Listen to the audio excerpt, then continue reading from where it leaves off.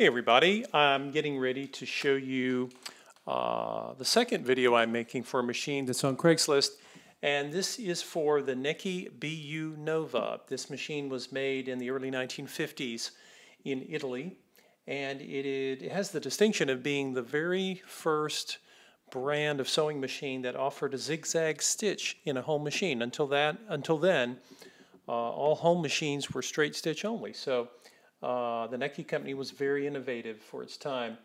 Uh, this machine has a feature that some vintage machines have, but not all.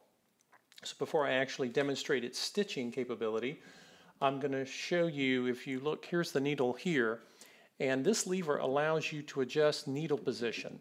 Uh, for some people who sew, uh, a few of you may have a need to get your needle where it is uh, to the left of the actual center for sewing, and then here's center again, and then you can actually go to the right. Uh, many of you won't need this, but if you do, this is one of the few vintage machines that offers adjustable needle position. Uh, you have zigzag capability, which is adjusted here, and there's a slider lever. Right now it's set for a straight stitch, but I'll, I'll show you the zigzag in a moment. and then your stitch length is uh, adjusted here. And right now, what you'll see, it looks like a magic trick, but these two pieces of, uh, this is spring-loaded. It's really, really a clever little uh, device so that uh, when it is set here, you can uh, adjust your stitch length to either long or short. I'm going to start off with a long stitch length so you guys can see the quality of the stitch that it makes. This machine is, uh, again, it was the first home machine to have zigzag, and it has one of the tightest zigzag stitches I've ever seen on a machine, period. And uh, it's particularly popular with people who sew upholstery weight fabrics, also people who sew uh, sails. A lot of people have boats. Uh, often, uh, when they contact me, people who are boat people for some reason contact me about this machine in particular. So, uh, but anyway, I'm going to start off with a with a stitch here and show you how it works. In the photos that I have listed uh, on the Craigslist ad, you will see a picture of the cabinet. It has a beautiful cabinet with it.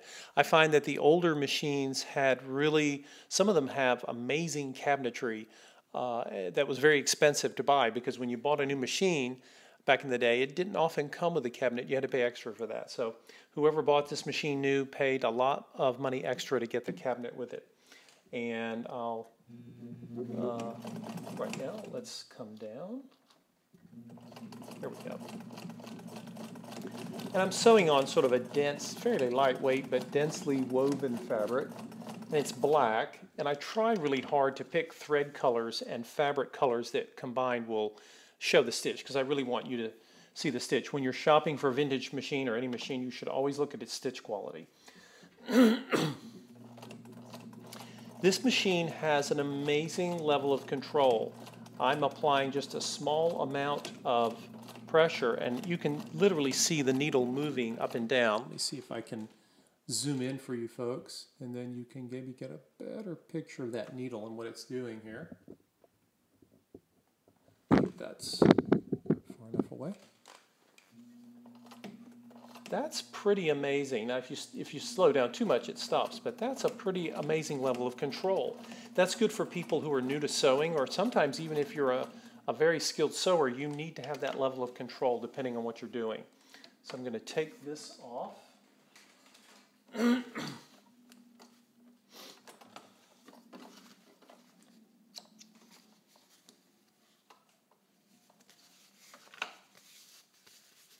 And let's see if that shows up there. There you go. Yeah. And again, I, I started with the really long length stitch here. Uh, makes really beautiful stitches. And then if you look on the back, the bottom, um, the bottom bobbin thread is actually white. And I tried to do two different colors of thread. So you can see that the stitch is balanced on the top and the bottom. And I had earlier done some, uh, this is the turquoise thread on the machine in garment weight leather, but I'll run it through again for you guys so you can see. Actually, have a different piece of leather. Let's, uh, some earlier threading of blue, but this is turquoise. So let's see if that will show up for us.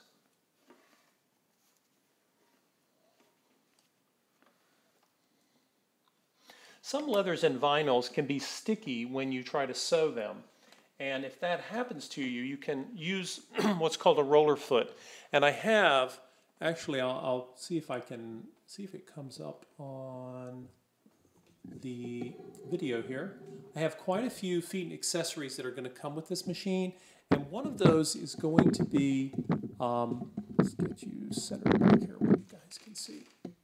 Uh, one of those is going to be a roller foot, which I will pull out for you. and this roller foot is useful because sometimes with a heavy fabric uh, or, or a garment weight leather or a vinyl, this can help prevent binding under the foot and, uh, and allows the machine to, to sew materials that you normally could not.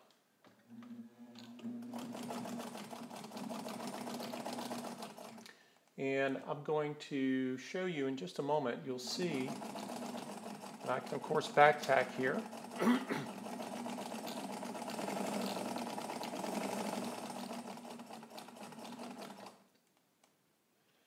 going to shorten my stitch just a bit. Now this, this is garment weight leather. It's feeding just fine.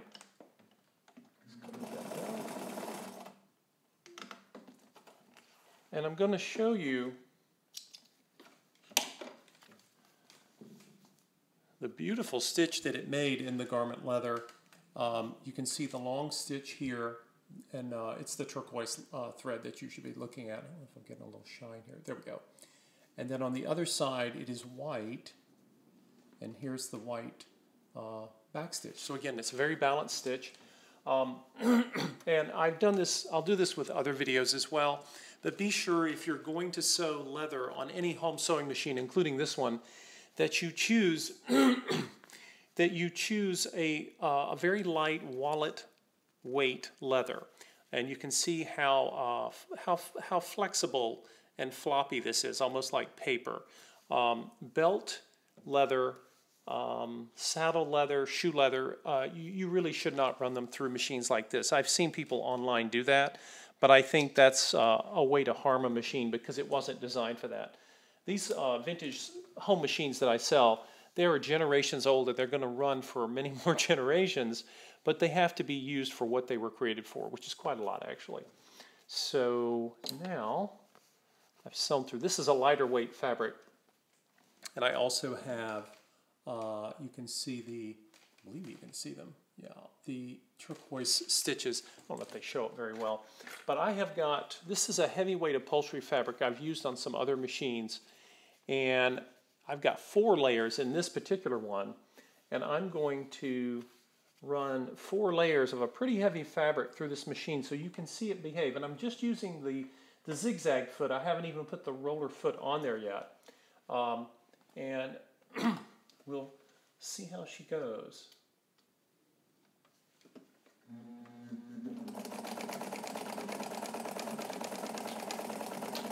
You can see it sews really well.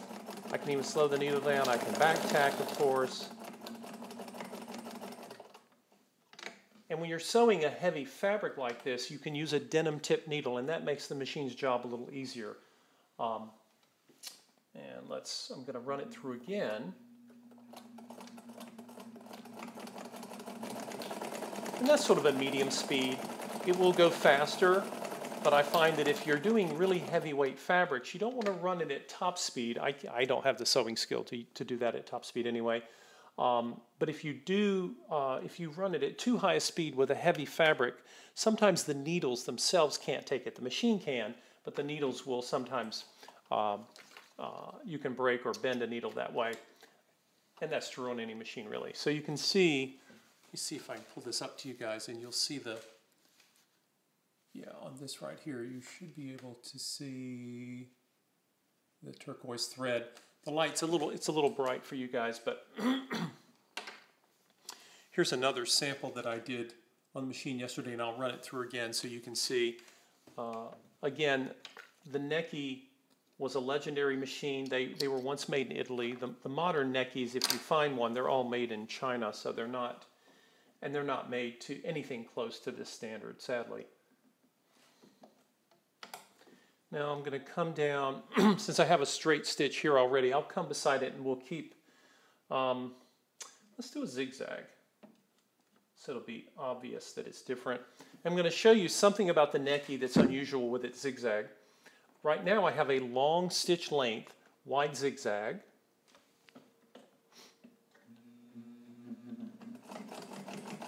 I'm going to come down and here, see what I'm looking at here. This is the, the zigzag it's making. It's, it's, it's a very balanced, nice zigzag. But now I'm going to shorten the stitch length, and I want to show you guys something because the Necchis are known to do amazing zigzag and a very tight one, tighter than most machines. And some of you who sew will know this, uh, it's sometimes referred to as a satin stitch uh, because it mimics embroidery. And the Necchi is one of the few machines that, that will do this. Um, for some of you it won't matter, but if having a really tight satin-like stitch that's consistent, the Necchi is pretty amazing.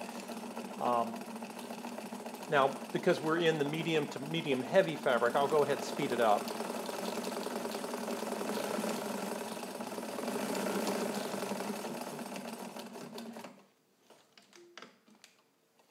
So let's take a look at this. It may actually read better from a distance.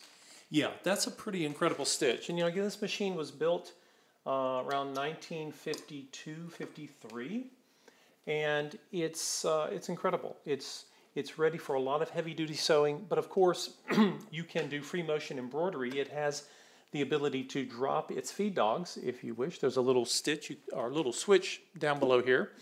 Uh, you can't see it on the camera, but it's right down here. And you can lower your feed dogs. You can do free motion sewing embroidery if you wish. Uh, but again, the machine's pretty amazing. It comes with quite a few attachments that I've shown in the, in the uh, photos on the uh, Craigslist ads. So if you have any questions, email me or uh, set up a time to come take a look and uh, we'll have uh, some, we can do some test sewing on it and I'll answer any questions I can for you. Thanks.